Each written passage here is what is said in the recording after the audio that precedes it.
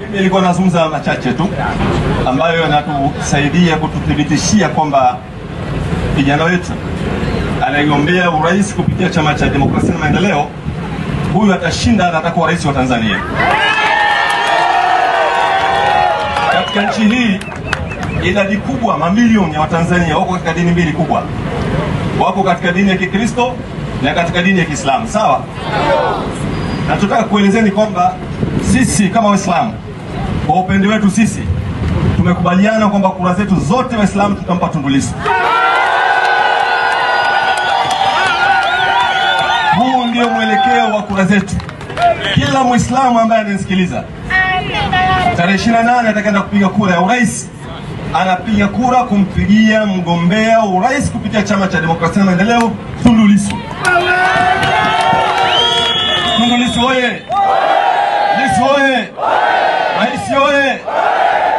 Oye! Amesimamia ajenda za wananchi, anazungumzia haki, anazungumzia mambo ambayo ni mazito yanayowakumba wananchi. Ndugu zangu, kama hatukumpa urais huyu, basi tujue kwa vyote vile Mwenyezi Mungu hatatuelewa kabisa, hatutaomba dua tukakubaliwa. Mimi nasema hivi, huyu kuwa rais haina tatizo, tatizo litakuja kwenye kutangazwa lakini na hilo nalo litakuwa tatizo kama wananchi hamtasimama imara, lakini mkisimama imara atatangazwa. Sasa nataka katika kikao cha leo tule kiapo kwamba kama tutampa kura zetu, basi asipotangazwa sisi tutahakikisha kwamba anatangazwa. Tunaone mkono juu, piga kura wa Tanzania.